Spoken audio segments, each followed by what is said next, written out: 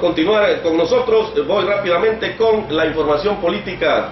En su cuarta semana de campaña, Héctor Peralta Grafín, candidato del Movimiento Progresista por Tabasco a la alcaldía de Comalcalco, ante cientos de habitantes de la ranchería Patastal primera y segunda sección, así como en la colonia Betania de Villa Tecolutilla, expresó los compromisos que tiene con la ciudadanía y expuso la gran preocupación que existe por parte de los adversarios a que esta vez el municipio se pinte de amarillo.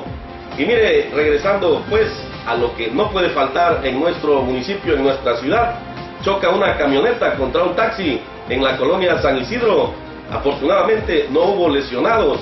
Miles de pesos en daños materiales fue el saldo que dejó la imprudencia del conductor de una camioneta marca Ford tipo 3500 de 3 toneladas que salió intempestivamente de la calle San Manuel hacia la calle Aurora de la colonia San Isidro de esta ciudad, según informes de los agentes de tránsitos municipales. No obstante, el alocado conductor de esta camioneta no se percató de la presencia del auto marca Nissan Suru, color blanco de servicio público de alquiler, el cual circulaba en su sentido con preferencia procedente de la central camionera. Por ello, el impacto fue brutal y no pudo evitarse, produciéndose serios daños en la laminación de ambos vehículos. Y en la carretera Zapotal, dos mujeres se salvan de morir arrastradas por un remolque que era jalado por una camioneta pick De puro milagro, dos mujeres salvaron sus vidas al ser embestida la motocicleta en la que viajaba por una camioneta que en su parte posterior llevaba un remolque sobre la carretera ya mencionada, pero al llegar a la altura del Panteón Recinto Memorial, los arrastró. Una de ellas resultó con lesiones serias en una de sus extremidades inferiores.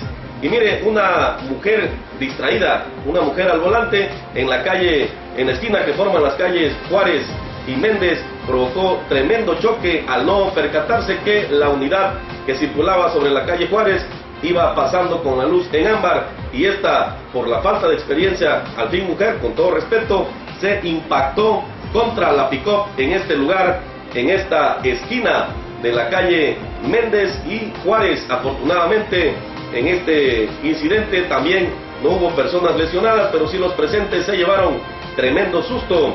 Y miren, otro tipo de información generada igualmente aquí en Comalcalco, celebra UCAP evento de salud. La mañana del día de hoy, la División Académica Multidisciplinaria de Comalcalco celebró un evento con relación a la prevención y diagnóstico de enfermedades en el Parque Recreativo de la Colonia Lázaro Cárdenas, ubicado frente a la Escuela Primaria Artículo 123, Sor Juana Inés de la Cruz.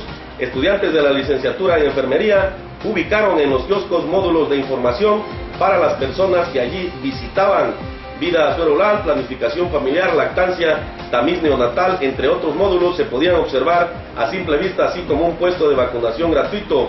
El evento se llevó a cabo alrededor de las 11.10 de la mañana con la participación de los alumnos de enfermería de local en compañía de sus respectivos profesores, quienes de igual forma evaluaban el desempeño de sus alumnos. Gente curiosa comenzó a llegar poco a poco al evento donde se repartieron preservativos, folletos de información y pláticas a la gente en general. Y miren, no podía faltar, no podía faltar un accidente, un accidente más. Le presento aquí en este noticiero. En esta ocasión lo escenifican frente a la tienda Chedraui sobre el bulevar Adolfo López Mateos dos unidades del transporte público, una de ellas del transporte Torruco y otra del transporte Chontalpa.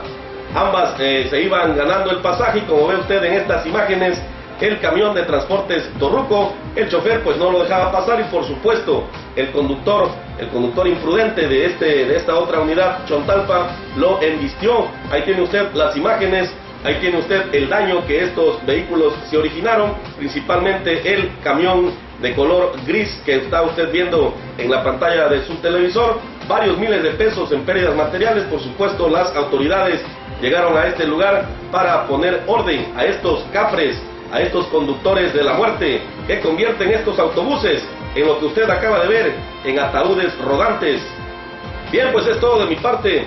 Gracias por habernos sintonizado en este NC10 y recuerde, alerta 5.30 a las 5.30 de la mañana de lunes a viernes en el 570 AM y en el 89.7 de FM. Gracias a mi compañero Víctor Pérez y Tito Ulises en la edición, en la cámara, Carlos Miguel Alamilla.